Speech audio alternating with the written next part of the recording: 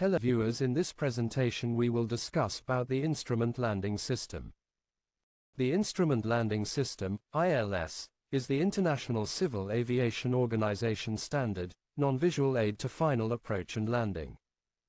The ILS is defined as a precision runway approach aid which provides pilots with both vertical and horizontal guidance during an approach to land. The instrument landing system provides vertical and lateral guidance during approach and landing phase. It is used to enable safe landing during reduced visibility due to fog, rain, or snow. It assists auto-land in the aircraft to provide guidance to the actual touchdown location on the runway. ILS consists of ground installations and airborne equipment.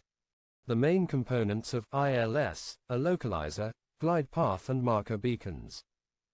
Localizer is VHF, ILS component which provides horizontal guidance to the aircraft.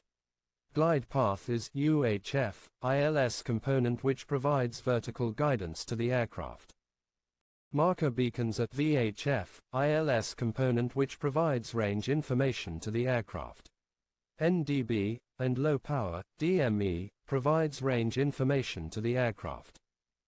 There are two airborne equipments, which are localizer and glidepath antennas located on the aircraft nose.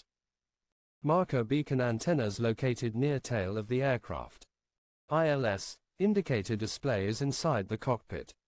ILS components, localizer. The primary component of the ILS is the localizer, which provides lateral course guidance. It can serve as part of an ILS approach in the case of localizer-only procedure. VOR and localizers share the same navigation radio and display equipment in the flight deck.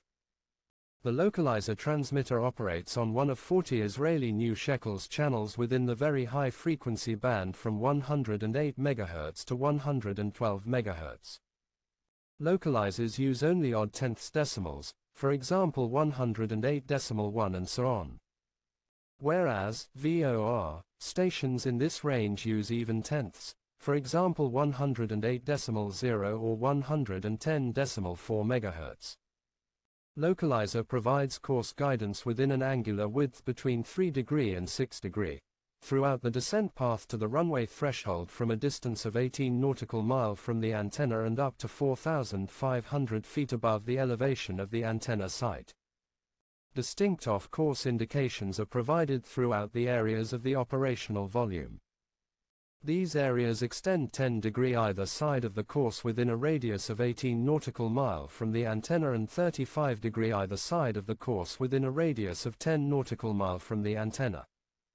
The course line along the extended center line of a runway, in the opposite direction to the approach direction served by the ILS is called back course. Back course are used for aligning with runway center line. The localizer transmits a Morse code ID that typically starts with an I, followed by a three-letter code. Identifying the station is done by listening to the Morse code over the navigation radio. The Morse code for Bangalore International Airport Localizer, IDVN, is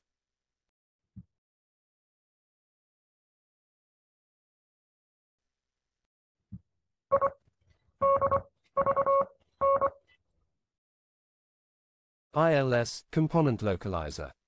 The localizer antenna array is located at the departure end of the runway.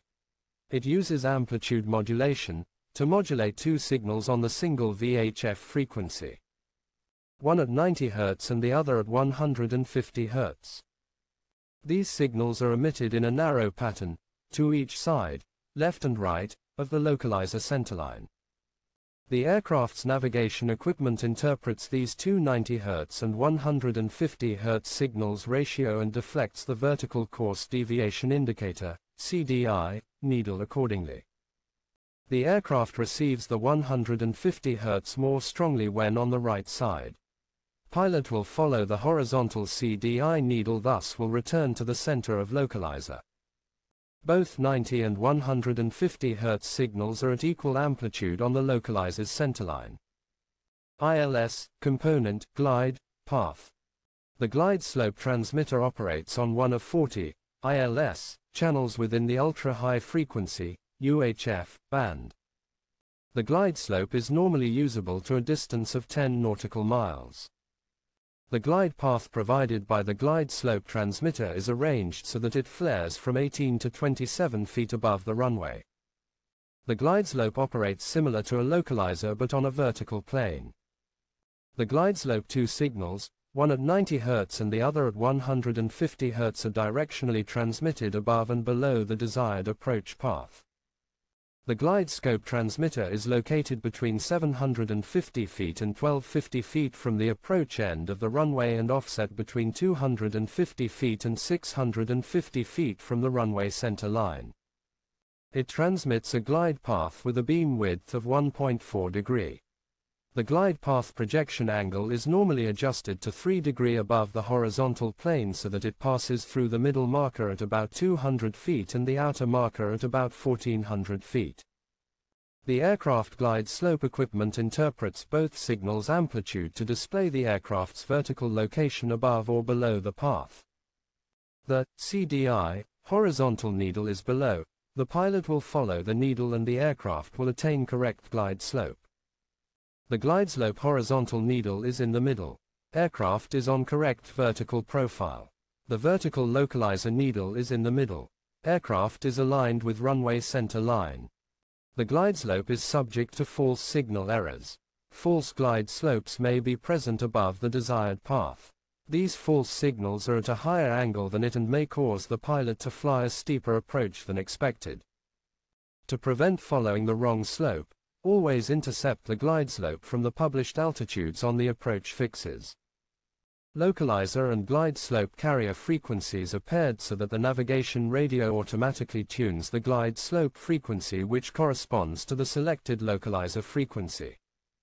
The localizer signal is in the 108.1 MHz range while the corresponding glide slope signal is 334.7. Range, or distance, Information helps the pilot identify the aircraft's position on the instrument approach. You will find distance to altitude information in tabular form in the instrument approach charts.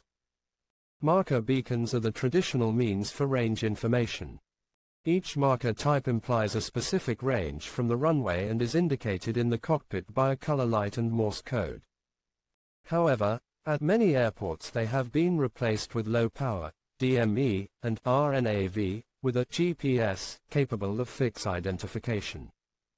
Outer marker are located 4 to 7 nautical miles from the runway threshold. It indicates the position at which the aircraft should intercept the glide slope at the appropriate interception altitude within plus minus 50 feet. A blue flashing light and a series of audible dashes at 400 Hz identify the outer marker on the marker beacon receiver in the cockpit.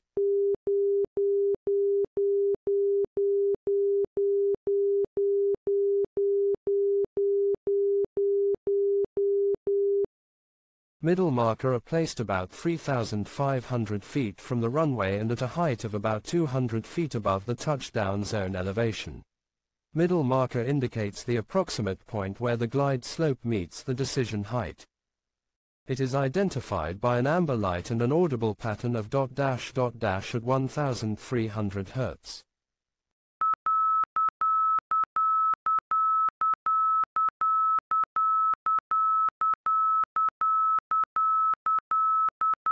Inner marker is placed between the middle marker and runway threshold. It indicates the point where the glide slope meets the decision height on a CAT 2 ILS approach. Inner marker is identified by a flashing white light and an audible series of dots at 3000 Hz.